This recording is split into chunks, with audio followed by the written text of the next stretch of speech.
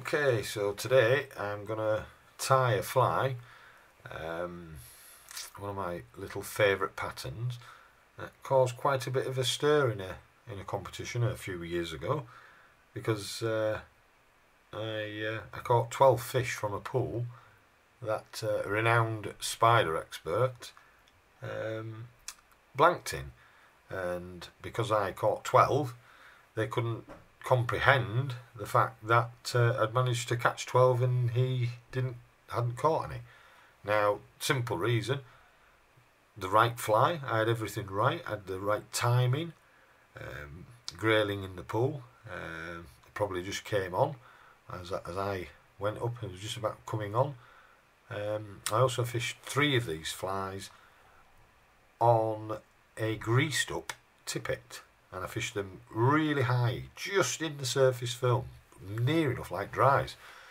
And the grayling were uh, foraging in the leaves. It was autumn time, and the grayling were just coming up, just mouthing into and around the leaves, so really, really high.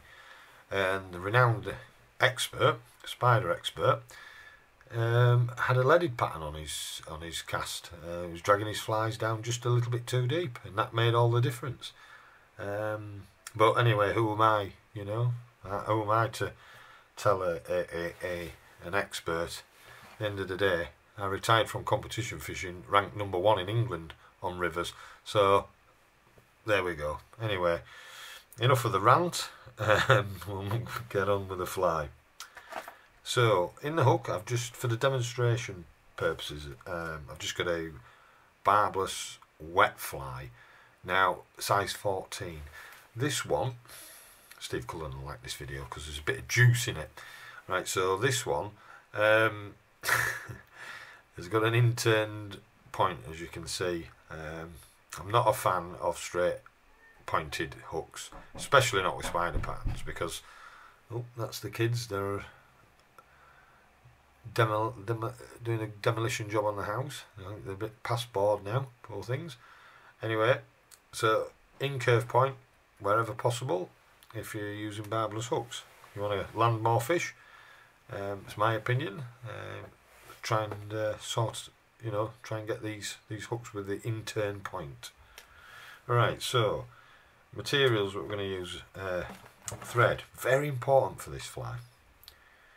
And it's rusty brown and it's from uni it's uni thread 80 and it's absolutely superb this really is a nice colour dubbing for the body. This is from Jan Siman and Jonathan Barnes sells this on his website. It's not cheap by the way, but it's very very good stuff. And you know, it'll last a long time. I think it's uh, 20 odd quid or something. Oh, I can't remember.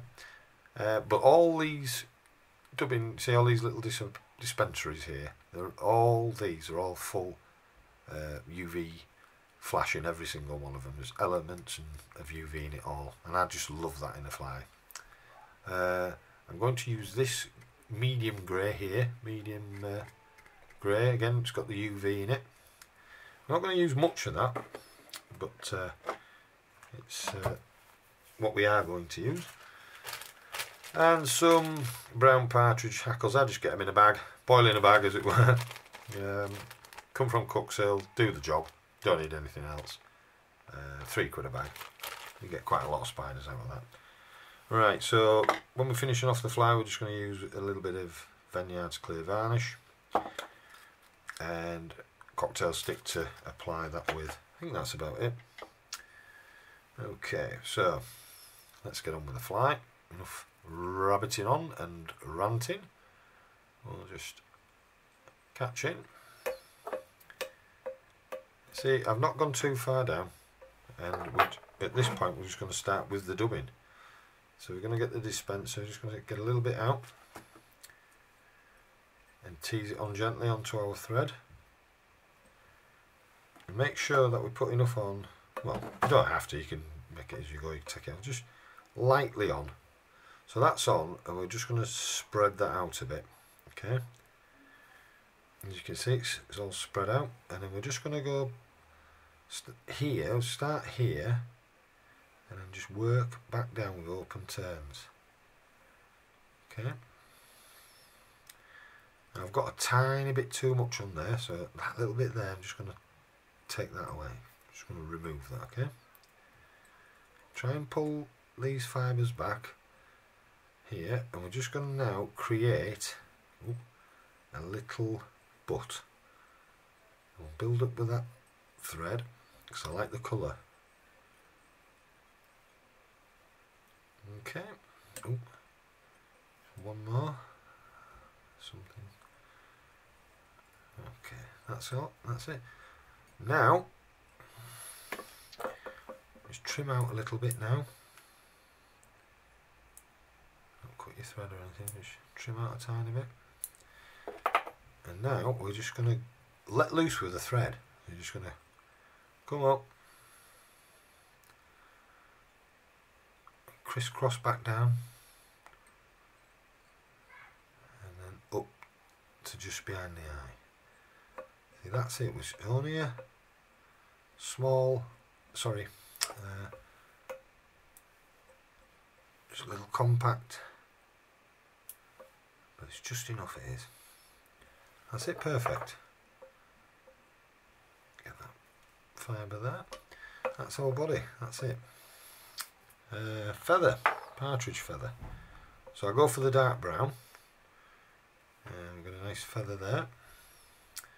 And we're just going to offer the feather, offer the tip. And as you can see, we're just going to line that up. See, that's too long. So we're going to take a few of those out, each side. And then come back again, just measure it up. That might be a little bit long as well so just I think a lot of people do um, tend to make their uh, hackles just a little bit too long on these spider patterns. You see there that's about right we'll just take off the couple of fibres off the top.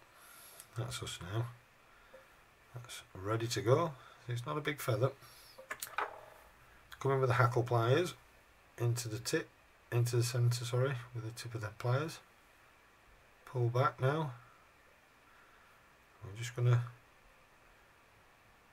redo that because I just trapped some of those on the other side. Now, we should be left with a little V. You can see, and we're just going to put that catch, put that in just behind the eye there. Thread's a bit loose. And tie back or wrap back whichever. Trim off that little bit of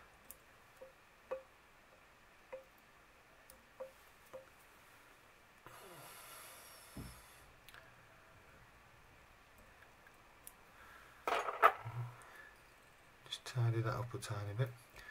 You can at this point just put in just secure everything. A couple of turns. Your whip finish tool. But when you do that you, you know everything's locked in so be very careful now with this stalk as we wind the hackle on because if we break this we've we've already trapped in the thread so we'd have to it'd be a bit of a nightmare undoing it so. Right cocktail stick I just try and separate a few of these fibres. Don't worry too much if uh, they're not plain ball. This is not a fly that needs to be perfect. It's the opposite. This fly is more effective the rougher it is. It's that simple. Okay, now come in with the hackle pliers, grab the stalk, and then wind forward okay. And each as you're winding forward just tease these fibres back. That's my son there. He's playing Bob the Builder. Uh, he's got a plastic hammer although it doesn't sound plastic and he's taking off all the plaster in, on the walls. Is nightmare. So we've got an immense amount of decorating to do. Alright come again round and forward each turn wants to be forward of the previous turn. That's about right there. You see, we're coming there now. I'll just get our thread. I have to just do it a little bit shorter because I've got no space between the camera and the fly so it's a little bit tricky right on the edge. Let's wind back now. Okay we'll come in and just trim that stalk.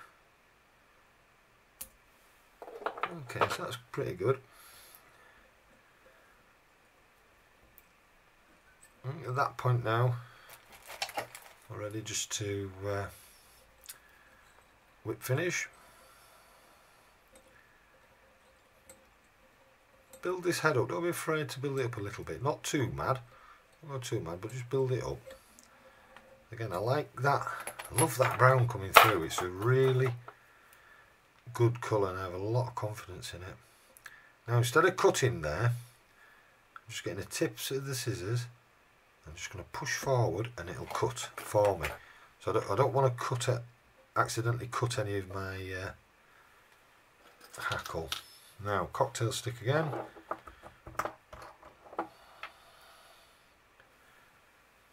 And just put a little bit, far too much on there. Dumped it in like a digestive into a cup of tea. A lot went in. That'll do. So it's an easy fly to tie. I don't know if the camera will pick up, but there's little hints of UV coming through there. Absolutely love it, I do. Not too much, you know what I mean? It's got to be got to be balanced fairly right, I think, but, uh, but I do like them. Okay, that's pretty much where I want to be with that fly. It's ready to go into the box. There you have it. Nothing to it really. I'll trim out that little bit there. no, that's me just being fussy now. So it will make absolutely no difference at all to the fly. And there you have it. There's the my March Brown spider, and it is a fish catcher. Thanks for looking. Thanks for watching.